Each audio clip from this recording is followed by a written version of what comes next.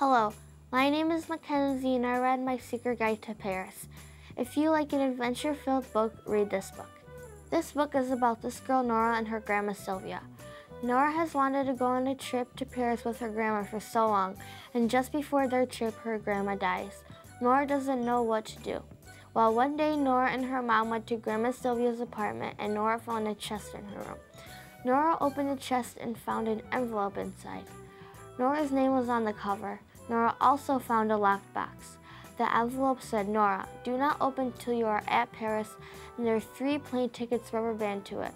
Nora decided not to tell her mom, but as soon as Nora was putting it away, her mom came in and asked Nora what she had in her hand. But now Nora told her. Nora explained how her grandma has planned something for her when she got to Paris, and then she told her about the plane tickets. But Nora's mom did not want to go to Paris. She said she would try to get a refund on the tickets. Nora was not going to give up. She just had to find the perfect time to persuade her mom to take her to Paris. Since Nora's mom loved to collect dolls, Nora did a little research on doll collecting in Paris. She found out that there was a doll museum for doll collectors. Now Nora just had to tell her mom and she was sure that she would go. Nora decided to tell her mom during dinner when it was just her and her mom. Nora told her about the doll collecting museum and how there were little shops that you can buy dolls from. Nora's mom said yes.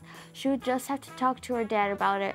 Her dad said yes. Nora, her mom, and her brother were going to Paris.